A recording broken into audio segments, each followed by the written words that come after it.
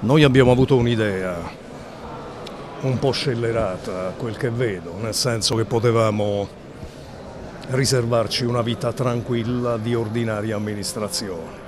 Essendosi aperta l'opportunità di fare le universiadi in Italia, ci siamo candidati investendo decine di milioni di euro per due ragioni semplici. La prima perché le universiadi sono un grande una grande occasione di sviluppo dell'economia turistica, di promozione dell'immagine di Napoli, della Campania. Secondo perché potevamo far crescere con le universiadi una rete di impianti sportivi nei territori, nei quartieri, che sono uno degli elementi essenziali per l'aggregazione giovanile. Ora è evidente che se ci impegniamo in questa sfida dobbiamo correre e dobbiamo calcolare non i mesi ma i minuti perché il 2019 è dietro l'angolo.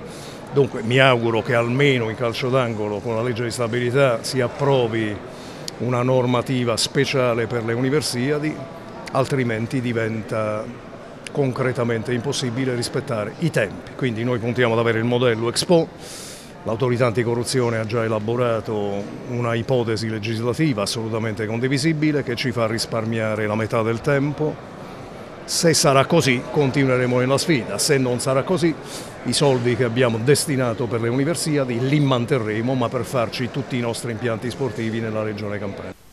La diatriba dialettica tra il ministro dello sport Lotti ed il ministro dell'interno Minniti ha rallentato la procedura relativa al finanziamento per la copertura di una parte dei costi previsti per le universiadi. C'è un decreto legge che prevede un impegno di spesa ma lo stesso necessita di una legge finanziaria ad hoc. C'è un problema tecnico, ma non certo la volontà del governo di tirarsi indietro rispetto all'organizzazione dell'evento, ha puntualizzato anche l'avvocato Lorenzo Lentini, presidente nazionale del CUSI, che si è prodigato per far sì che l'Italia ospitasse questo prestigioso evento internazionale. Nei giorni scorsi il presidente del CONI Malagò era stato chiaro, occorre un commissario di governo per accelerare le procedure, siamo in ritardo, aveva detto il numero uno dello sport italiano. Ora ecco Vincenzo De Luca, il governatore della Campania è stato categorico, intervenuto alla convention di Confindustria Salerno il presidente del Consiglio regionale ha parlato delle opportunità che questa manifestazione garantirebbe al territorio che coinvolgerebbe, lo ricordiamo, anche la provincia di Salerno.